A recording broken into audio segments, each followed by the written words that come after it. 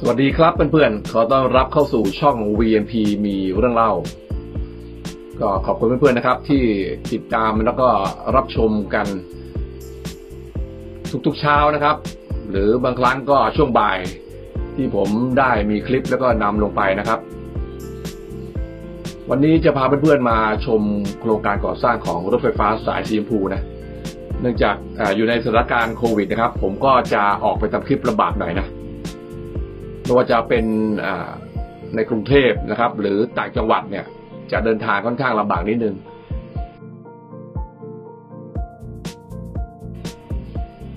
ตรงนี้ก็เป็นประมาณซอยแจ้งวัฒนะซอยห้านะครับ ก็มาดูรอบๆกันนะ เดี๋ยวจะพาเพื่อนๆไปดูสถานี TOT นะครับ ยาวไปถึงสถานีแจ้งวัฒนะ 14 นะนะครับ ด้านนี้ก็ด้านขวารถมุ่งหน้า หลักสี่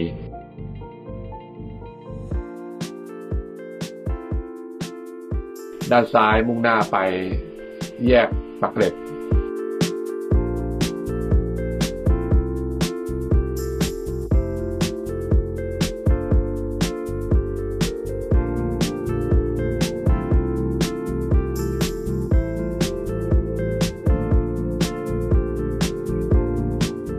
ตกแต่งด้วย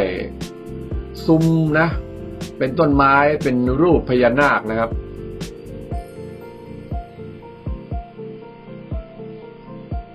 ตัวสถานีทีโอทีก็ตั้งอยู่ด้านหน้าของบริษัทเลยนะครับ ในด้านฝั่งทิศใต้ ส่วนในด้านฝั่งที่เหนือนะครับ ก็ไปอยู่ตรงอาคารนักนครนะครับ คือฝั่งตรงข้ามกับผมเนี่ยแหละ ตอนนี้ความคืบหน้านะครับ มีการวางคานแล้วก็ปูพื้นในส่วนของชั้นจำหน่ายตัวโดยสารนะครับ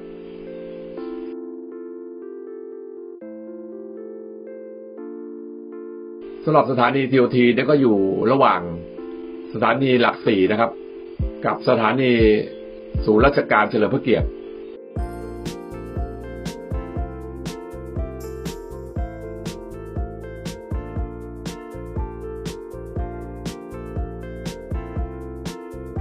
ตรงนี้ก็เป็นท่อที่นำพวกสายสื่อสารนะครับ ลงใต้ดินนะ แต่ว่ามาอยู่แบบนี้นะครับ จะยาวก็ไม่ยาวจะสั้นก็ไม่สั้นนะก็อาจจะทำให้เราเนี่ยเดินสะดุดหกล้มหัวขมำกลิ้งกระเด้งดิวดิวดิวนะนะครับ ผมว่าน่าจะมีอะไรมาครอบหรืออะไรนะ ให้มันเกิดความปลอดภัยนะครับ กลางวันก็ไม่เท่าไหร่นะครับ แต่ถ้าเกิดเป็นกลางคืนเนี่ยนะบางท่านที่อาจจะสายตาไม่ดีนะอย่างผมนี่นะใส่แว่นไปหนึ่งอันแล้วนะก็ยังมองไม่ค่อยชัดนะครับ วันก่อนก็นะเดินไปกับแฟนนะครับ จะจูงแฟน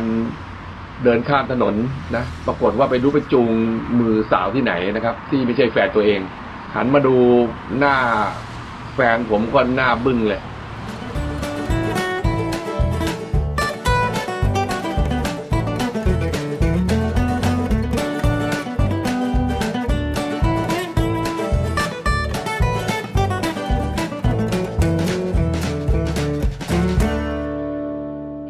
การจราจรตอนนี้ก็คล่องตัวมากนะครับ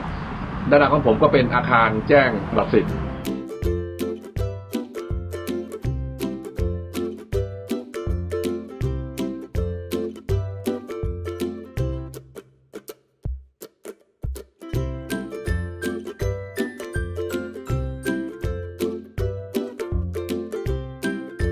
ก็เดินทางกันต่อนะ ด้านขวาก็เป็น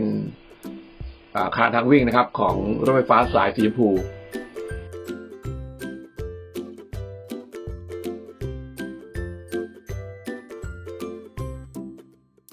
วันนี้รถโล่งมาก ๆ เลยนะ ดีเยี่ยมเลยฮะ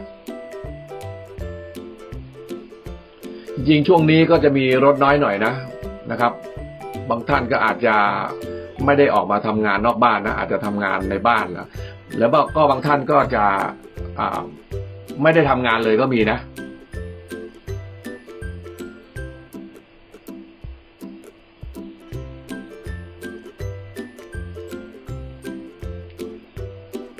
บริเวณเกาะกลางนะครับ ก็มีทั้งวางคานแล้วก็มีวางเสา ที่ยังไม่มีคานมาติดตั้งนะ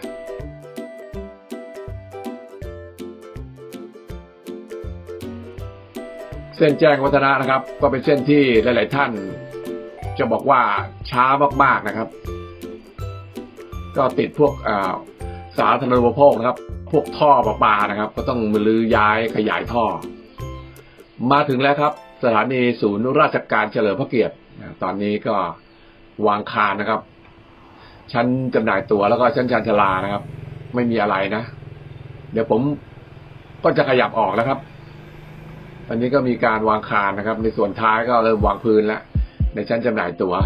เดินทางกันต่อ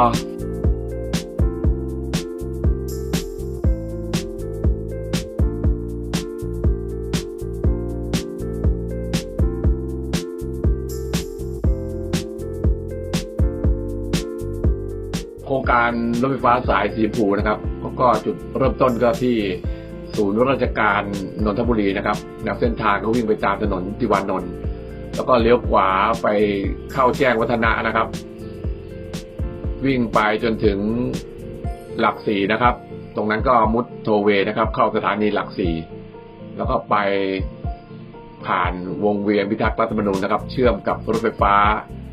สายสีเขียวนะครับ แล้วก็วิ่งไปตามถนนรามอินทานะครับ ไปถึงตลาดมินบุรี แล้วก็ข้ามคลองสามวา เลี้ยวขวาข้ามถนนรามคำแหงนะครับ ไปสิ้นสุดที่สถานีมินบุรี บริเวณคลองสองต้นนุ่น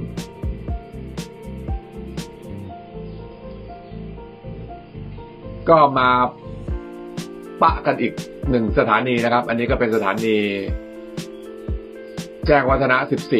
14 ก็อยู่ใกล้ๆกับซอยแจ้งวัฒนะ 14 นะครับ ส่วนใหญ่แล้วตามสถานีเขาก็จะนำชื่อซอยบ้างครับ ทางแยกบ้างนะ คลองบ้าง แล้วก็ชุมชนนะครับเอามาตั้งนะครับเป็นชื่อเพื่อให้เป็นสัญลักษณ์ไงเป็นสัญลักษณ์แล้วก็จดจำนะครับ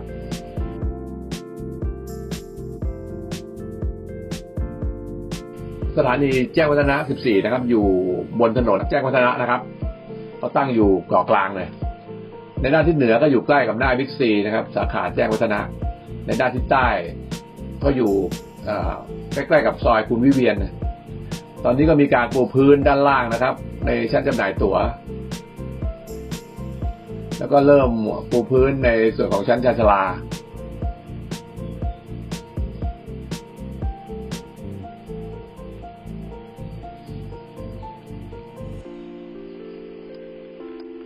ก็นำความคืบหน้ามาฝากกันนะครับ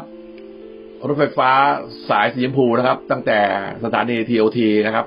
มาจนถึงสถานีแจ้งวัฒนะ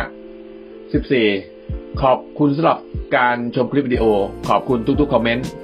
ขอบคุณเพื่อนๆที่สมัครอุปการะช่อง VP มีเรื่องเล่า ไว้พบกันใหม่ในคลิปต่อไปสำหรับวันนี้ สวัสดีครับ